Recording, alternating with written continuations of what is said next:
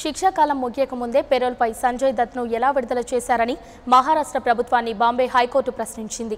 Mumbai bomb పెళ్ళుళ్ళ సమయంలో అక్రమంగా ఆయుధాలు కలిగి ఉన్న నేరంపై ప్రముఖ బాలీవుడ్ నటుడు సంజయ్ దత్కు ఐదేళ్ళ జైలు శిక్ష పడింది. అయితే సత్ప్రవర్తన కారణంగా అతనిని ఎనిమిది నెలల ముందే మహారాష్ట్ర ప్రభుత్వం విడుదల చేసింది. దీనిపై దాఖలైన పిటిషన్ను విచారించిన ముంబై హైకోర్టు సమాధానం చెప్పాలని ఏరవాడ జైలు అధికారులను ఆదేశించింది.